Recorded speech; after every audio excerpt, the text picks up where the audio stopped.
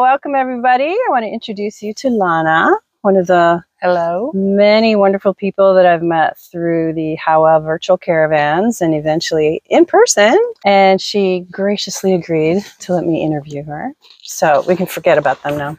And I have been in this demographic too of what I would consider nomad adjacent, where Yeah. we may not necessarily be on the road full time. We're still nomads, but we may have obligations that keep us um, in one spot for a while. Um, I know that that's your case, but how do you envision this morphing in the future of how you want to spend your time?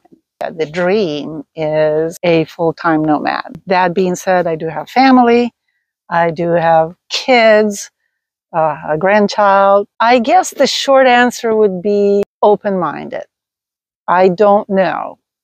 Uh, the way I see it right now in my head is I'm a nomad full time. I live in my rig and I just travel between the kids. And they're all spread out like all over the country. And you just-. Did a couple sprints across the country? I did. I went to Florida twice, and he, his name is Steve. Steve. He did really well. I'm very proud of him. Uh, shout out to my mechanic. He's just absolutely awesome. Uh, His name is uh, Honest Auto. Shout out yeah, shout Auto. out. And then because I got one of those very rare uh, type personalities. Are you an INFJ? Yes. Oh, of course she is. I'm glad you know about Yeah, that. I'm one too. Once you discover that, You get the lens that, oh, Mhm. everything makes sense now. Yeah, That's how it was yeah. for me. So that's why so many different interests, uh, sometimes seemingly mutually exclusive. Oh, oh. no. we make it work, don't we? I love nature. I love camping. I love all this, but I also love culture. I Yeah. also love to go to a museum or see a play. Yeah, I love stuff. both. I can't Yeah, do yeah. without the other. I can tell when I need the other. When it's like, okay, now I need a shot of this. Where and when did your awareness of the nomad lifestyle begin? I've always wanted to go camping. About 12, 10 years ago, when I started realizing how incredibly unhappy I was in my marriage, you start fantasizing how would I make my life better? In those dreams, I decided, well, I'm just going to get a van and live in a van. Oh, so you didn't have any like external inspiration for that. It just occurred to you? Yeah, I didn't know anything about the nomad lifestyle. I was just going to live in a van. Life happened. I got out of the marriage. Things kind of got, you know, setbacks and stuff, but um, that has always been in my head. Wow, Yeah. that's so cool. I don't know that I know anybody else who, yeah, I'm just going to live in a van. It's just my own idea. uh, uh, Instead of watching, you know, thousands of YouTube videos to get those ideas. Uh, yeah, now I got to watching the YouTube Well, yeah, yeah, videos. yeah. I didn't know anybody else was doing it. Well, I live in the, in the van. I, I'll be out of here. Yeah. Yeah. So, what is the history of this rig with you? There has been a van before. It was uh, a shorty. It was a B100 Dodge.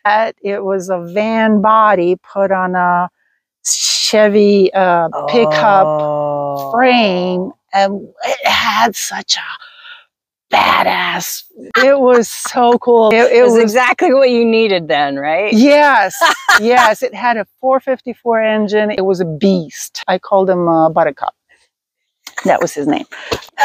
Uh, I had it all built out and I went cross country to Virginia and it just unfortunately got hit by an 18 wheeler and got totaled. So that was uh, one of the setbacks. Whoa. And, uh, but while I was recovering physically, I uh, was introduced by a friend to the whole idea of nomad life. I started looking at it. It's like, Okay. oh, I'm not the only weird one. And I discovered the uh, the RTR, the uh, Okay. the events, and I said, well, um, I've got to at least try it. Um, I'm definitely going to do it again. So Oh uh, yeah.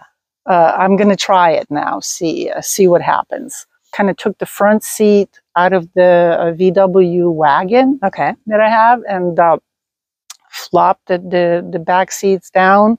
Put a mat in, in it. put a little bit of food, a sleeping bag, tiny, tiny little uh, camping stove, and uh, that was it. And I went off, put my dog in, and then went to the RTR. I came back knowing that yes, I was going to do it. So uh, then started the the whole journey of well rig.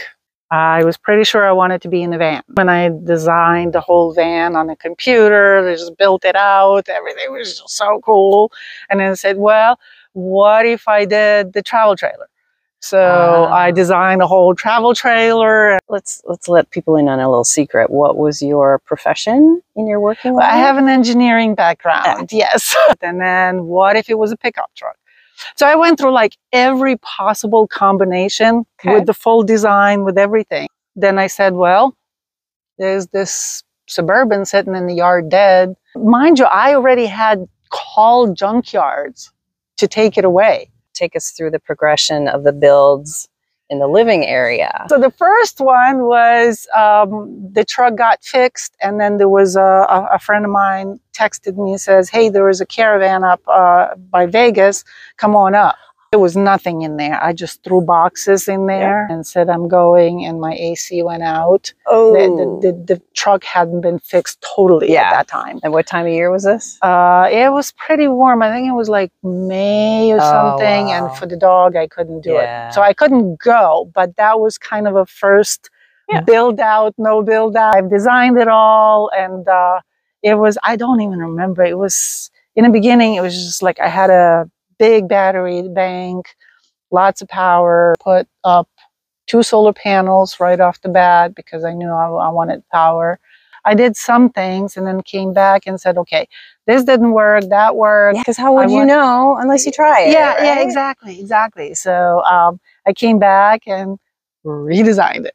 So it started out with a really no build build, just a mattress on the floor and boxes. And it came to be the version 5.2. The palace that it is today. And We will Yes. we will get there in a moment. So through all those builds and the the practicing that you're doing, what kind of camper do you think you will be? The types of camping that you do now, um, in terms of like, you know, bouncing between dispersed camping or boondocking, stealth camping, campground camping.